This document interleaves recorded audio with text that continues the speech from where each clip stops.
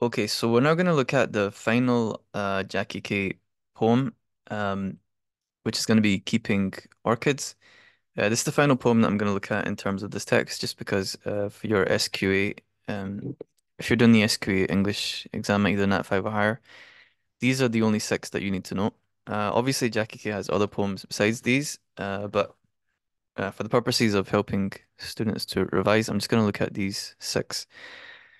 Okay, so we're going to look at keeping keeping orchids, like I said, and um, yes, okay. Uh, where's the thing gone? Yeah, good. All right. Okay. Keeping orchids. Here we go. All right.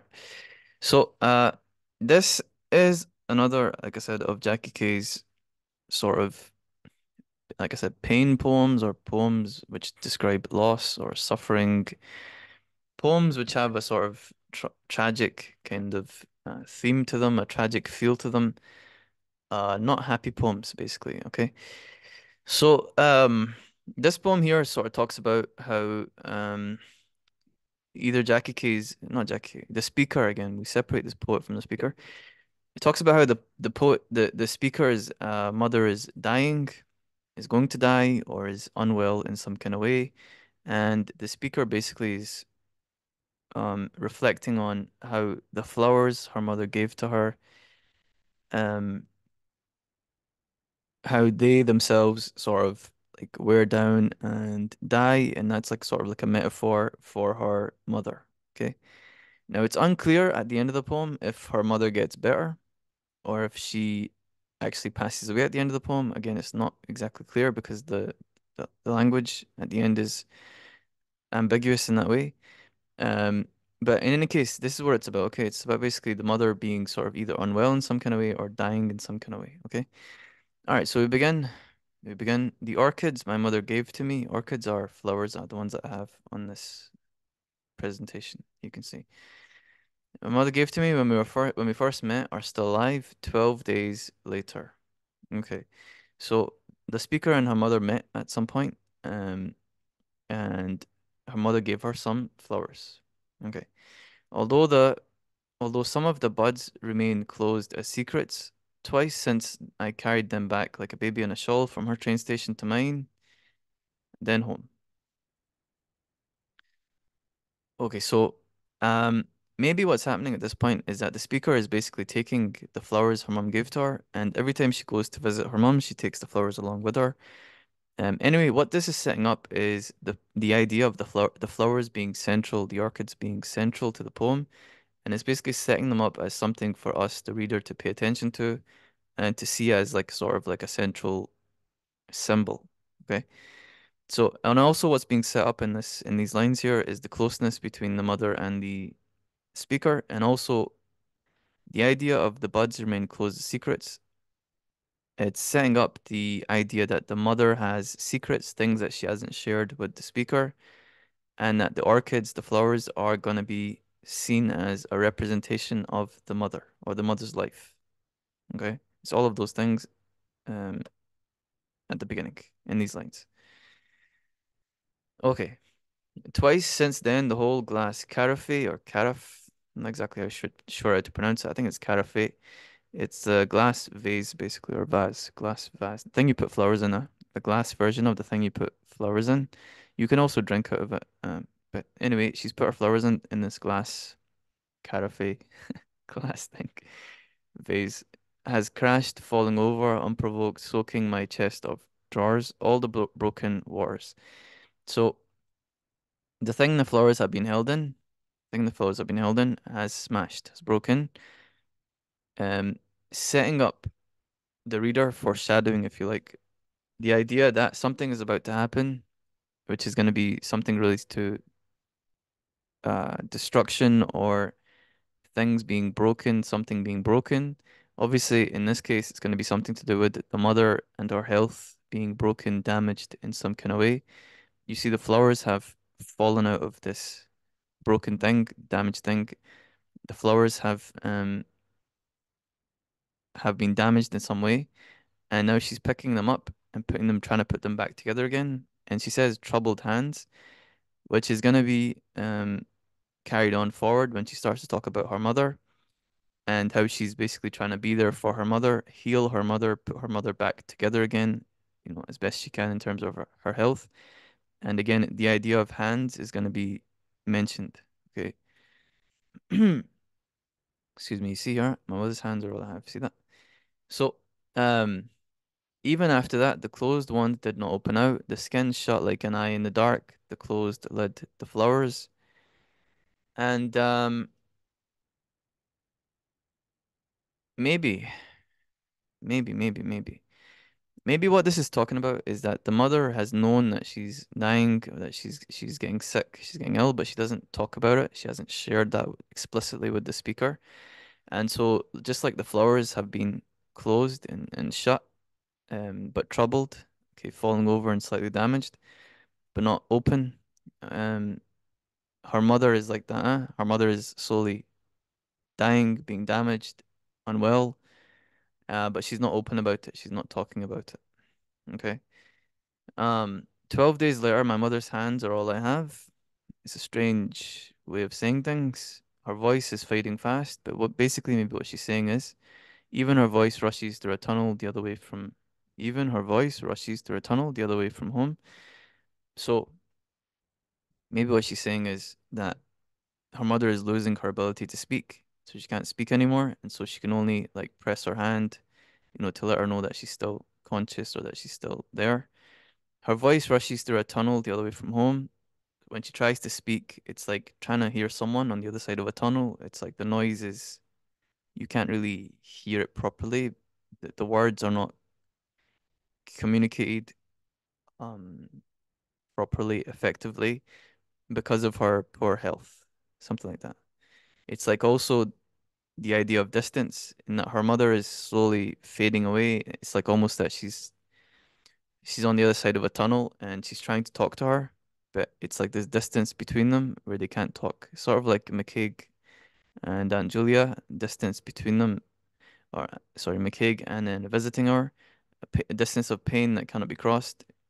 Also here you see um what I'm noticing is the mention of the voice again. This is something which is seems to be a common theme or idea in Kay's poems, which is the idea of losing your voice or something happening to your voice where you can't talk properly. We see this in um, we see this in Old Tongue with her words falling out of her mouth with the accent idea, losing her ability to speak, communicate. And we see this in uh, the poem that I just covered, uh, while Layla while Layla sleeps, um, with her describing her voice has become like a house with with no roof on it. Um, so this idea of the voice being uh, affected negatively, being damaged in some kind of way, not being able to express herself, or someone in the poem not being able to express themselves, seem to be like a common theme which runs through her her poetry. Something just to take note of and think about. Okay, I close I close my eyes and I try to remember exactly a paisley pattern scarf, a brooch, a navy coat, a digital watch her daughter was wearing when she died. Um, so who is it she's she's thinking about? Who is she thinking about? Uh, maybe her mum was wearing these these things that she's describing, paisley pattern scarf and brooch and navy coat and so on.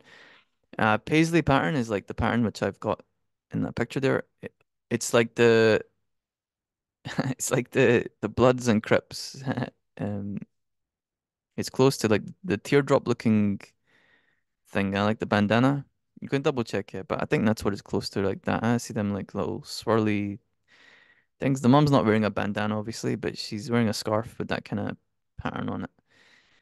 Uh, Paisley also is a place in Scotland, uh, close to Glasgow. Um, um, some people might consider it to be inside Glasgow. Anyway, the point is, it's somewhere in Scotland, so it could be an illusion or it could be a little hint, maybe from where her about where her mother's from, the speaker's mother, is. Uh, I don't know. Okay, now, uh, interesting statement. Digital watch her daughter was wearing when she died.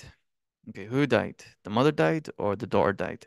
It's ambiguous, again, on purpose, I believe. Um, but anyway, the point is it's a mention of death and a mention of loss. So either the mother has lost someone in the past, or like the speaker's sister, or the mother herself at this point has died And um, yes, she's gone.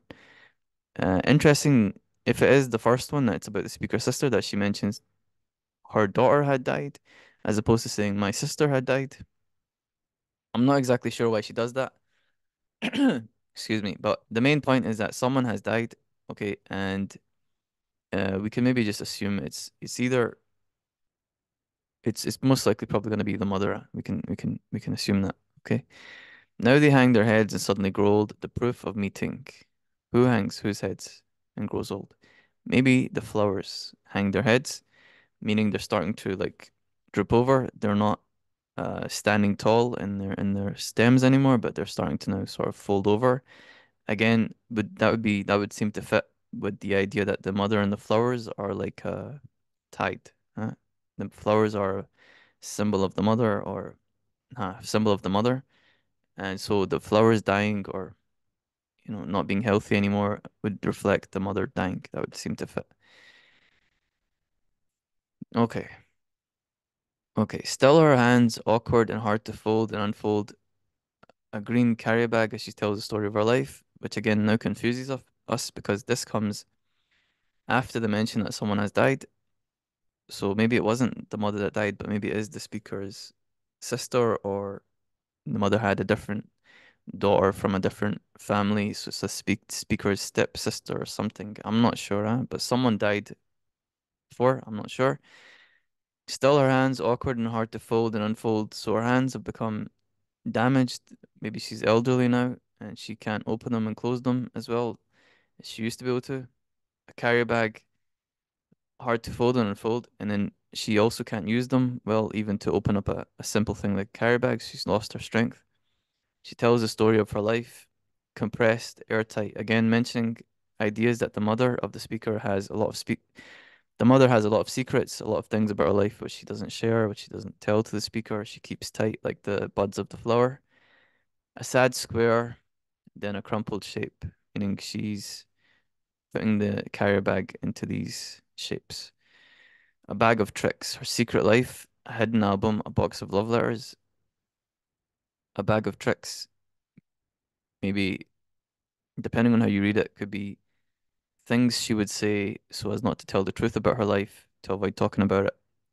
Or if you want to make it more positive, things she would say which amaze the speaker, which the speaker is uh sees as like um uh amazing, like in a good way, right? Telling her stories about her life, which she feels um surprised about, but also good about. It seems with the, the tone of the poem, it might be leaning to the first one, which is that the mother has, the speaker is seeing that her mother is good at, you know, saying things in a way which covers the truth up, or she can say things in a way which means she's able to keep secrets and not reveal the truth. Her secret life, a hidden album, a box of love letters. Again, following on from the um, things we just said. A door opens and closes. Time is waiting. Time is outside waiting. So maybe she's now left her mother's house. I'm not sure. Time is outside waiting. Um, it's a good sort of personification here. Um, in that maybe at this point her mother has, maybe at this point her mother has died, and she realizes that she has to still live. She has to move on, uh, because time, her own time is is on it. Her own time is waiting for her and her own time is is running. Uh, it's it's it's still going. I catch the draft in my winter room. Okay, again, maybe this is so. Winter has always been a classic symbol of death. Draft is cold air, also related to death. Airlocks keep the cold air out, so she uh, can lock her house or lock the windows and so on. Boiling waters make flowers live longer. Um, both of these, maybe now we can see is that the mother has died. The flowers are dying, if not dead, or mostly dying. But the speaker herself still has life, and she is now going to try and preserve the flowers for as long as she can, even though maybe they're mostly dead, or maybe they're dead already. But in terms of sort of trying to keep her mother's memory alive, um, she's going to try and preserve the flowers. Okay, doing this by boiling them or or something. I don't. I'm not a florist here. I don't understand this, but doing things with water and also cutting the stems with a sharp knife, which would in itself seem like that's the way that you kill a flower, but it could be sort of an idea that her mother's life has been cut, meaning she's no longer here, she's passed on, and she's gonna cut the flowers to keep them alive. Yeah, it's almost like an ironic, um, an ironic contrast or something, an inversion or something like that at the end of the at the end of the poem. So all throughout the poem, everything that happened to the mother happened to the flowers and had the same effect. At the end of the poem, the thing that happened to her mother, the speaker does to the flowers. In other words, the mother's life was cut. The speaker cuts the flowers. The effect on the mother was she died and she's no longer around.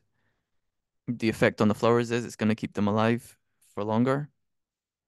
But actually, I just noticed um, it has the same effect overall, big effect.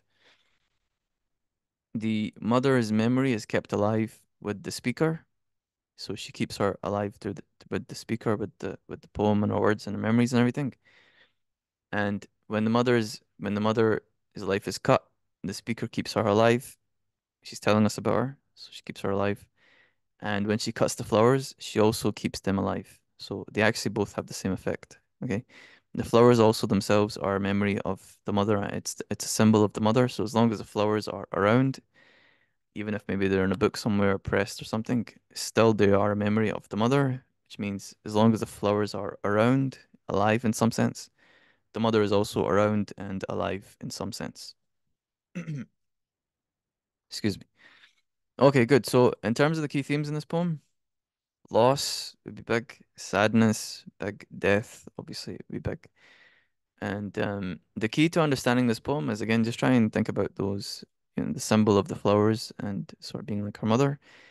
And um, and you should you should get it, yeah. Okay, if you have any questions, you can put them below. Uh, that's all the Jackie Kay poems, so I've now covered all of them.